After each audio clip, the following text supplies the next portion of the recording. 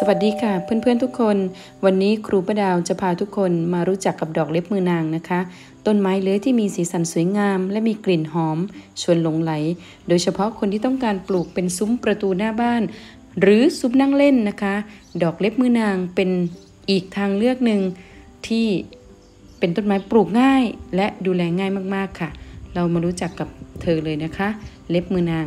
เป็นต้นไม้ที่มีถิ่นกำเนิดอยู่ทางเอเชียใต้นะคะ แถวอินเดียศรีลังกา จนมาถึงแถวประเทศไทย มาเลเซีย อินโดนีเซียเลยค่ะ ต้นเล็บมือนางเป็นพืชพื้นบ้านดั้งเดิมของไทยเรานะคะ และก็พบมากในทุกๆ ภาคของประเทศไทย แต่ว่าจะมากที่สุดในแถวภาคกลางนะคะ มากกว่าภาคอื่นๆ ประโยชน์และสรรพคุณของเล็บมือนางนะคะ ก็นอกจากจะกลิ่นหอม ปลูกง่าย ทนทาน อยู่ได้เป็นนานหลายปีแล้ว โดยที่เราไม่ต้องใช้สารเคมีใด ๆ ดูแลเลยนะคะ ซึ่งแตกต่างจากอดอกไม้ที่สวยงามประเภทอื่นนะคะอดอกนี้ออกดอกทั้งปีค่ะนะคะ ดูแลก็ง่ายสุดๆ เป็นเราเอามาทำประโยชน์ เป็นซุ้มประตูบ้าน ประตูรั้วนะคะ หรือซุ้มนั่งเล่นเหมือนกับเฟื่องฟ้าเหมือนกะละเวกนะคะแถวประเทศอินโดนีเซียเขานำ พืชชนิดนี้นะคะมารับประทานใบอ่อนมันทั้งดิบและสุกนะคะโดยการเอาไปต้มเอาไปนึ่ง หรือเอาไปลวกนะคะ โดยมีสรรพคุณทางยาเล็บมือนางนี้มีสรรพคุณทางยาโดยตำราไทยระบุว่าใบของเขาเอามาตำชโลมหรือทาแผลทาฝี แก้ปวดศีรษะ แก้ท้องอืดท้องเฟ้อ เป็นยาสมานช่วยเจริญอาหารนะคะ ส่วนต้นใช้เป็นยาแก้ไอ แก้อาการพุงโล รากก็ใช้ทานเด็กถ่ายพยาธิได้ด้วยนะคะ แล้วก็ช่วยให้เจริญอาหารด้วยค่ะ ส่วนเมล็ดก็ใช้เป็นยาขับพยาธิตัวกลม และก็พยาธิได้เส้นได้ในเด็กนะคะ แก้สะอึกแก้ไอ โอ้สารพัดประโยชน์มาก ๆ เลยนะคะ ซึ่งบางทีเราก็ไม่รู้ว่ามันจะมีประโยชน์อะไรมากมายขนาดนี้ เราก็แค่ดมกลิ่นของมันแล้วก็ประดับบ้านให้สวยงามเนาะค่ะ นอกจากนี้แล้วนะคะต้น ลักษณะของเล็บมือนางก็จะเป็นต้นไม้เลื้อยนะคะ เนื้อแข็งมีอายุนานหลาย ๆ ปีนะคะ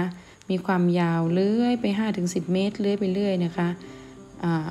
ลำต้นก็แข็งแรงดีค่ะนะคะ ลักษณะใบก็เป็นเรียวๆนะคะบางๆ ต้นไม้ประเภทนี้ก็จะไม่ดูแลยากแต่ว่ามันจะมีปัญหาตรงเรื่องมีหนอนนะคะ ถ้าใครไม่ชอบหนอนก็อาจจะไม่ชอบต้นไม้ประเภทนี้นะคะ กลิ่นของเขาก็จะหอมโชยอ่อนๆ กลิ่นไม่ฉุนนะคะ ก็จะมีกลิ่น โดยเฉพาะตอนเย็นๆ กลิ่นก็จะแรงนิดนึง แต่พอมีแดดก็จะกลิ่นก็จางหายไป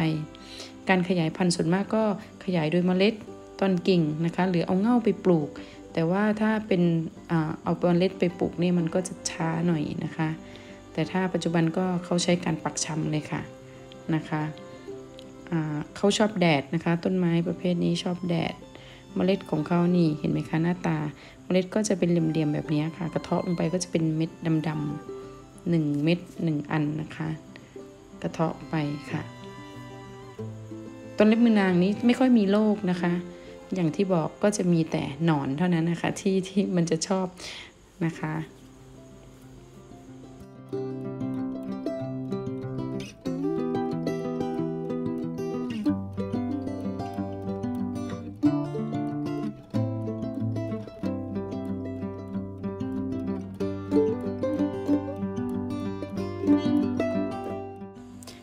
สุดท้ายอย่าลืม